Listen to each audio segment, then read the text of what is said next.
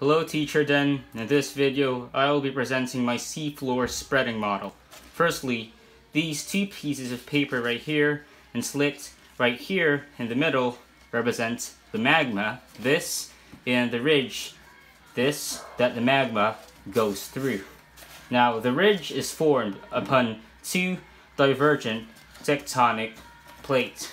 The, the, the, the divergent tectonic plates, they form a gap between them as they diverge from each other, through which the magma, this, from the interior of the earth, particularly the mantle, seeps.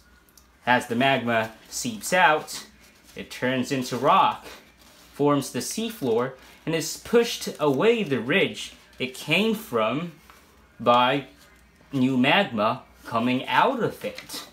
This is a consistent process that doesn't stop. Now, if you notice, the paper is colored with varying colors. Each one represents one million years. So the farther away from the ridge, the older, more solid, and more dense the rock. And the opposite is true the nearer the ridge, meaning this is a very slow and gradual process. Now, over the course of millions of years, depending on the width of the ocean floor, this crust meets an oceanic trench this.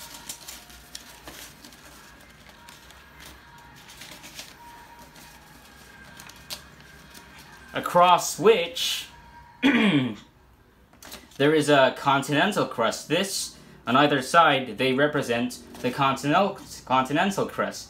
Now, because the oceanic crust, which is this, is denser than the continental crust, because it's denser, of course, over the course of millions of years, it really solidified and hardened into very hard rocks. It is subducted, goes down, meaning that upon colliding with the continental crust, it goes down, while the continental crust goes up.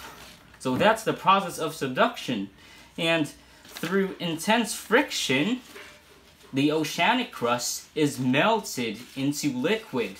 It then goes down the trench and back into the mantle. Now, this process re repeats itself. Essentially, the Earth is recycling itself. It recycles itself this way.